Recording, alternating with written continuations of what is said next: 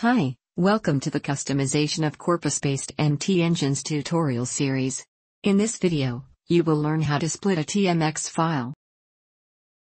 Previously, we have downloaded the DGT corpus from English to Spanish.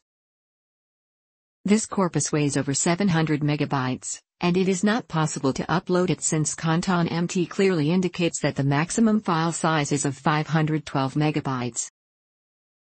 In this video, we will show you how to easily split your TMX into two, so that you can train your PBSMT engine using the complete parallel corpus of the DGT.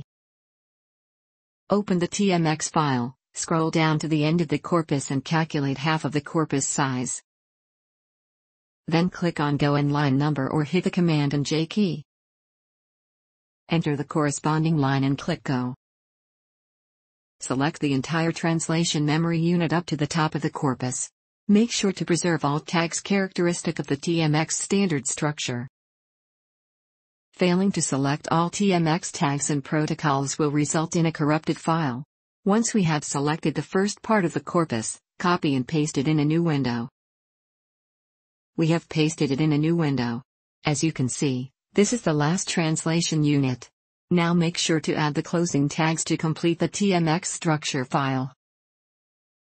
You can do that by simply typing the body and TMX tags at the end of the document. Now go ahead and save the first part of the DGT corpus. Type in DGT, English to Spanish, and it is an excellent practice to always save it using Unix line breaks and the encoding UTF-8. You can go ahead and do the exact same process with the second part of the DGT.